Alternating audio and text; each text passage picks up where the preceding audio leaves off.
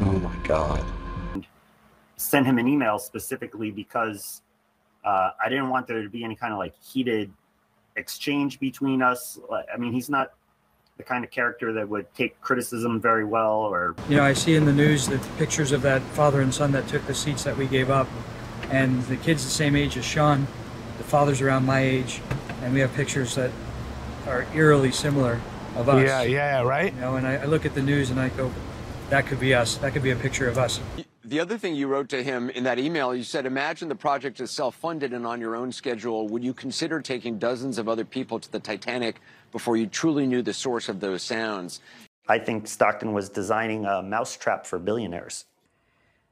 Yes, Stockton Rush was creating a mousetrap for billionaires, and he even made them pay for it. Hi guys, I have to say, wow. Like I said in my last video about the Titan disaster, I am stunned and shocked by what I am finding while I'm researching for this video. So for this video again, same like with last video, more and more is coming out about Stockton Rush and his business practices. So friends have spoken out, but also clients that he tried to lure in. So let's dive deeper. I know this is going to be a long one again, guys, but stay with me. I really think it's worth it. Let's have a closer look of what a friend of Stockton Rush revealed in an interview. And it's mind-blowing to me again and again how ignorant and fraudulent Stockton Rush operated his company Ocean Gate. I'd like to be remembered as an innovator. Um, I think it was General MacArthur said, you're remembered for the rules you break. And, you know, I've broken some rules to make this. I think I've broken them with, with logic and good engineering behind me. The carbon fiber and titanium, there's a rule you don't do that. Well, I did. This friend claims that Stockton Rush knew that he would die in his submersible. He quite literally and figuratively went out with the biggest bang in human history that you could go out with. And who was the last person to murder two billionaires at once and have them pay for the privilege? The only question is when. He was risking his life and his customers' lives to go down in history. He's more famous now than anything else he would have ever done. So we're not talking about that Stockton Rush knew while he was in the submersible shortly before the implosion. We're talking about he knew way before how he would end up because he knew this sub was not classified and never would be. He knew this was experimental, how he called it, meaning this is not material that you use for submarines. In my last video, I showed you all about the lies and the tricks that Stockton Rush used to strip paying passengers of their legal rights and avoid having his sub certified and tested. So you already know how bad it was, but it seems it can get worse. Because if Rush knew he would die in the sub, he fully knew he would take others with him not only take a risk and hope for the best. No, it seems he wanted to go out with a bang and be forever linked to the Titanic. That is my opinion. I want to show you what his friends said about him, but I also want to show you his tactics, how he tried to lure people into paying and taking part in that dive. So this alone is would be the topic of a whole video, how he manipulated people to become paying customers. Trip, citing scheduling conflicts and reservations of his own. He told me he's now grappling with the emotions of that fateful decision that kept his family safe, but left others without a father and a son of their own. He was heavily going after people. It seems the crowds were not standing in line waiting to go on the sub. So later we will also look at what another almost victim has to say about Rush, how he tried to persuade him and his son to take their place in the sub. Those places that were later taken by the two victims, the father and the son Suleiman, who died in the Titan. So, so let's talk about the friend. His name is Karl Stanley. He runs a deep sea exploration company in Honduras, and he has been friends with Rush for a long time. Stanley is a submarine expert who organizes deep diving underwater trips via submarine in the Caribbean. He built his first deep diving submersible at the age of 15. He also designed it himself, so that's quite impressive. At 24, Stanley started taking expeditions down to 700 feet in Honduras. He is definitely a submarine expert and he has gathered more than 3,000 hours of piloting experience in deep diving submersibles. His deep sea dives have ranged from 500 feet to 2,660 feet in depth and from a few to nearly 17 hours in duration. Karl Stanley's underwater adventures have also been documented in a documentary called A View from Below, just in case that you're interested and want to watch that. He is also a member of the Deep Submersible Pilots Association. So in my opinion, Karl Stanley is definitely qualified to speak out and give a warning to Stockton Rush. And Stockton should have taken those warnings very, very seriously. But what did Stockton Rush do? He has praised his submersible for years. Back in 2017, he said that his sub was almost invulnerable. Later in 2021, he admitted in an interview that he broke some rules to build the watercraft, but this was no sign of admitting any flaws of the sub.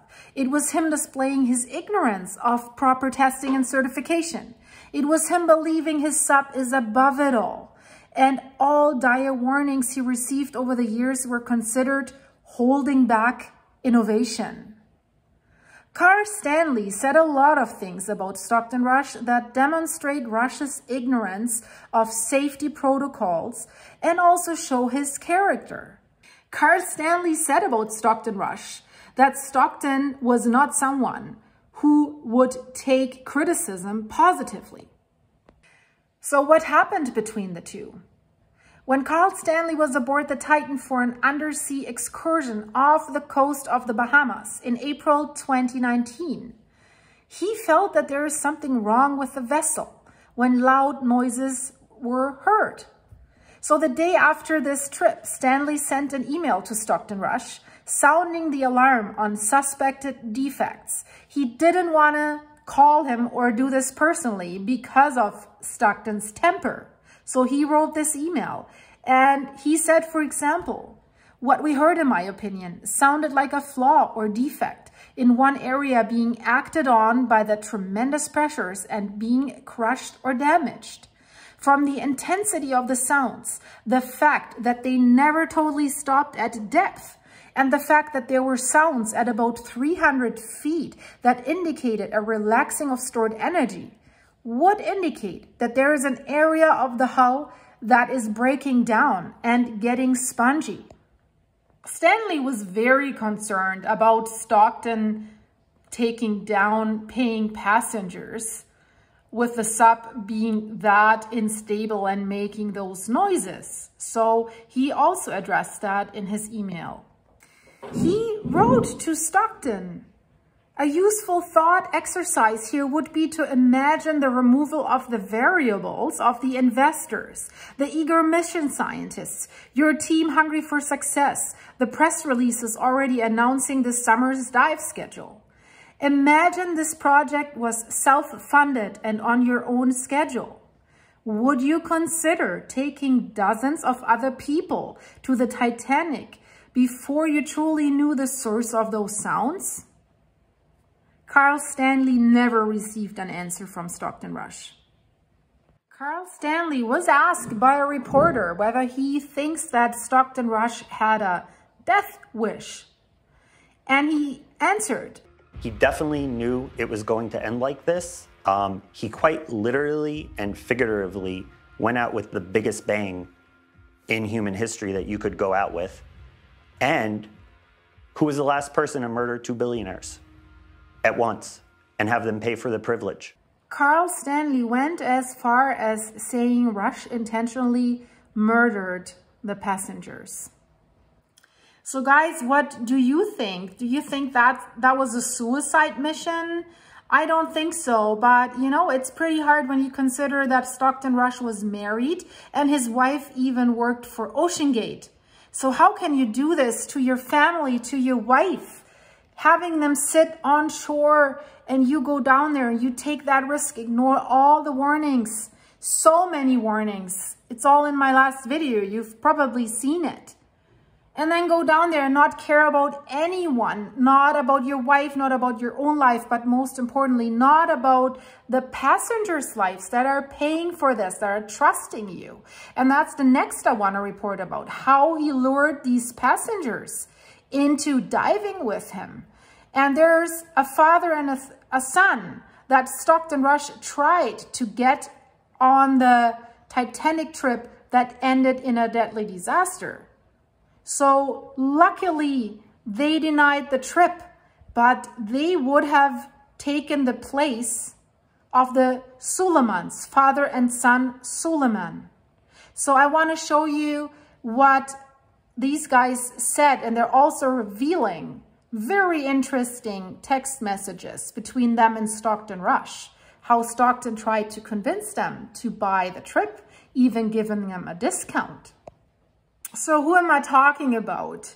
Las Vegas financier Jay Bloom has revealed that he turned down cut price tickets for him and his son on the Titan submersible after he has been texting with OceanGate CEO Stockton Rush about safety concerns.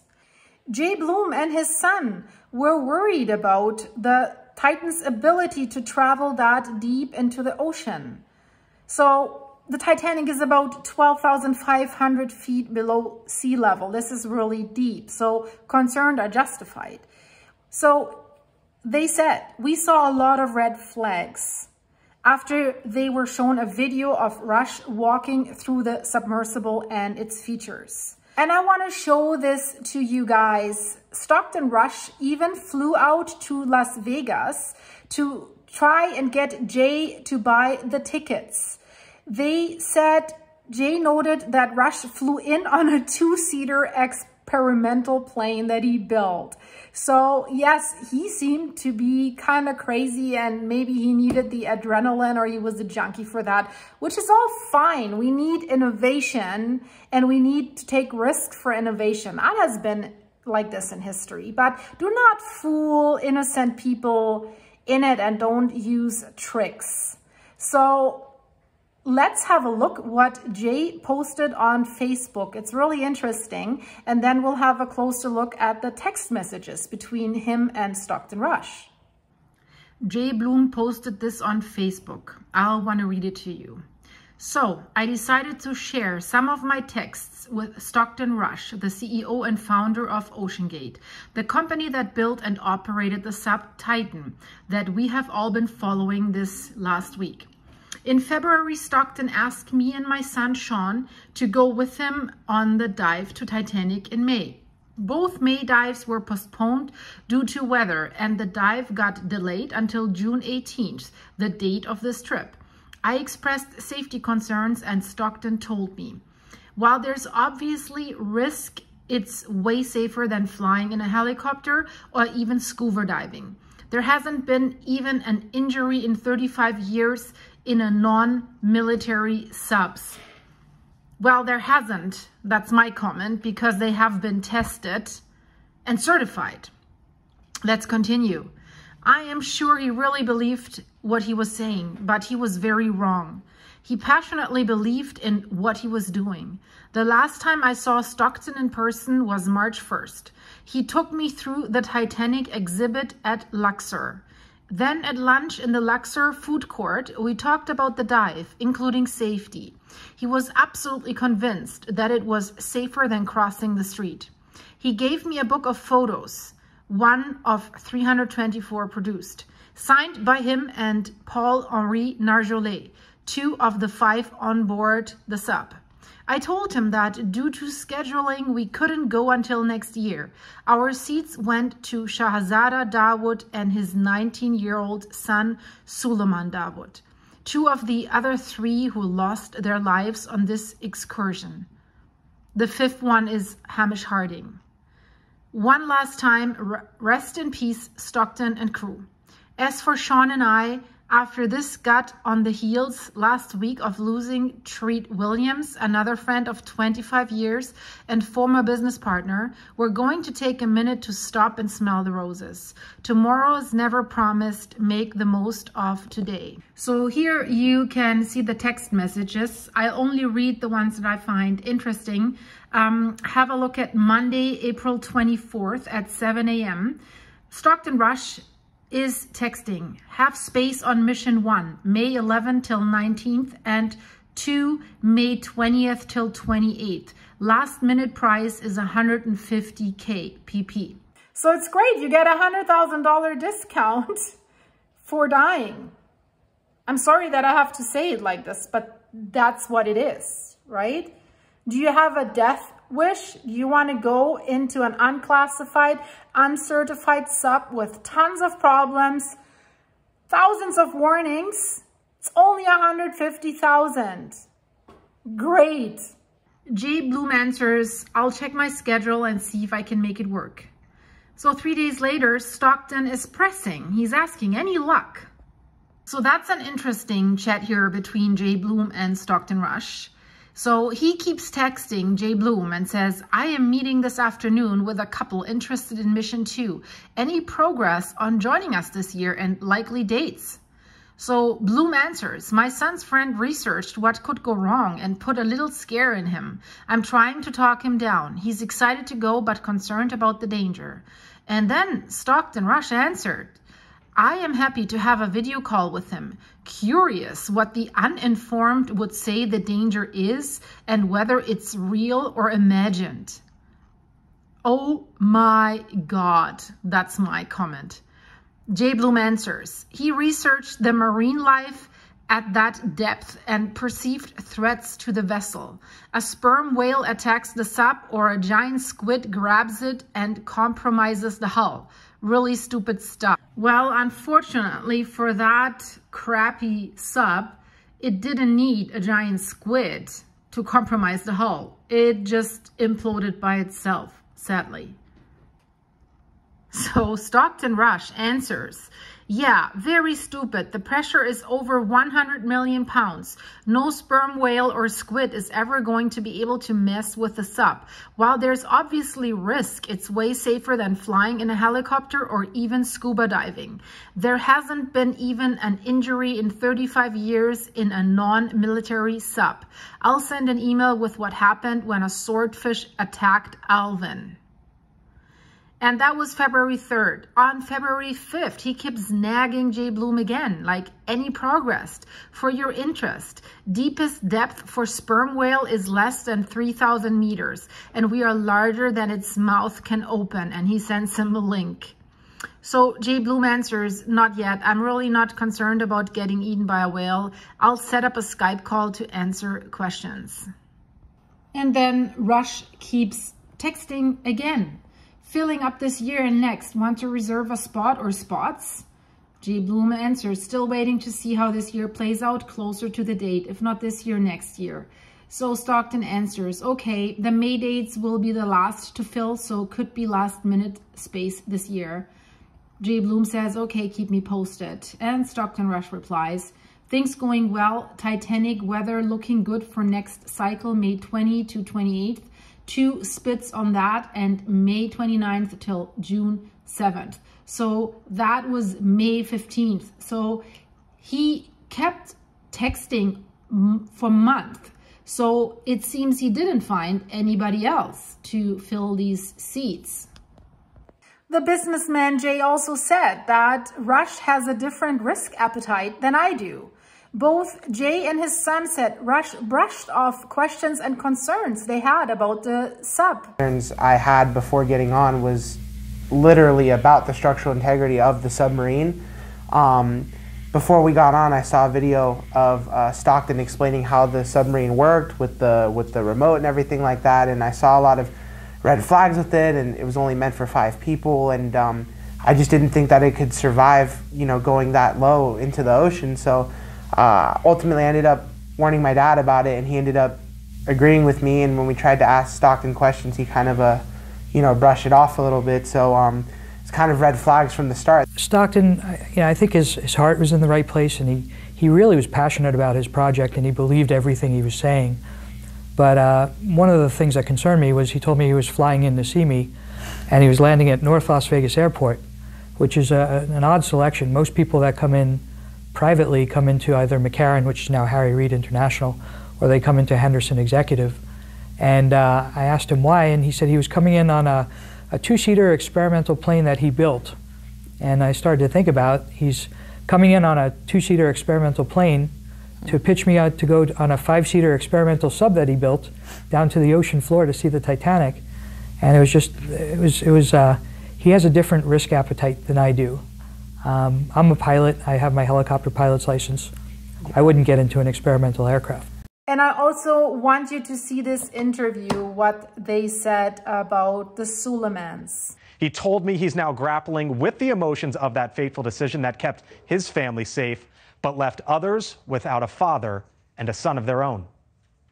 What's going through your mind when you think about everything that's happened and knowing that you and your own child could have been on that sub? You know, I'll, I'll tell you what, what's going through my mind. It's, um, it's kind of surreal. Like, this has been a, a, an enormous news story, and it's everywhere you look. And every time I see a picture of the people that lost their lives on this tragic event, uh, I look at that picture of the father and son who replaced my son and myself and think just how easily, but for the grace of God, that could have been our picture on the news. So it, it's really sobering. Yeah, I mean, you, you know, th this happened on Father's Day. Jay. Uh, last Sunday, you talk about it, it was you and your son could have been on the Titan. Instead, you were replaced by another father and another son. How much have you had to wrestle with that over the last week? It's, um, yeah, it gives you a lot to think about.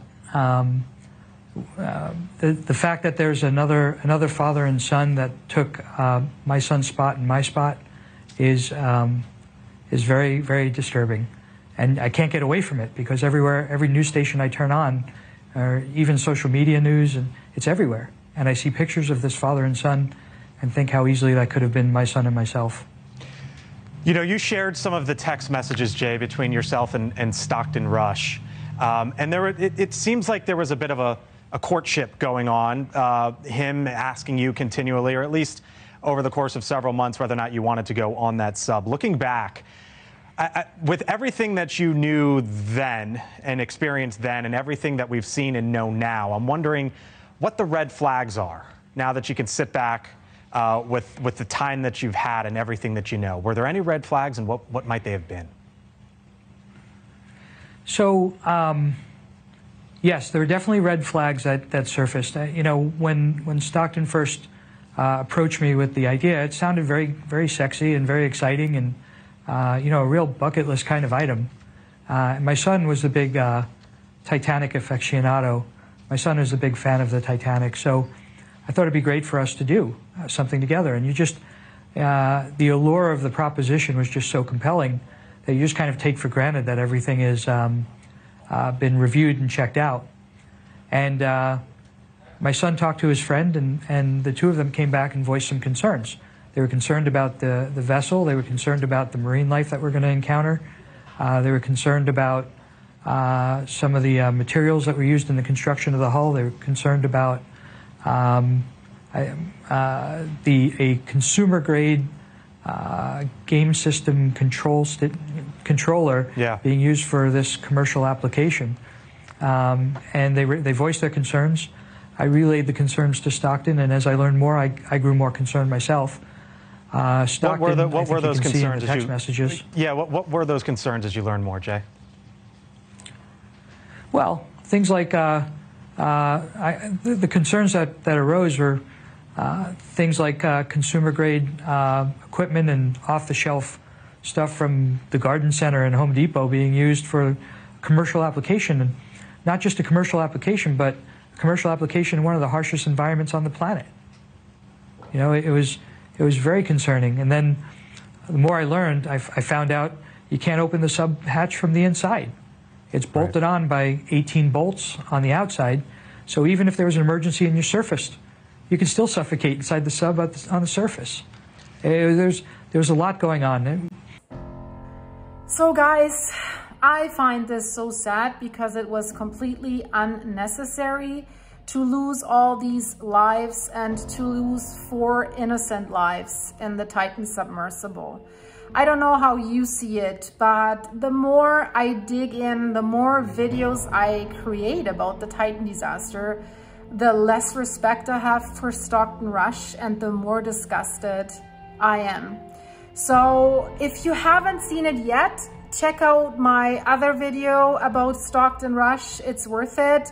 I'll link is in the description. It's in the end screen. And if you like this video, please support my channel and subscribe. That would be so awesome because I want to see you again in my next video. It's already in the works, but it's probably taking a few days. So thanks for watching and see you soon. Bye bye.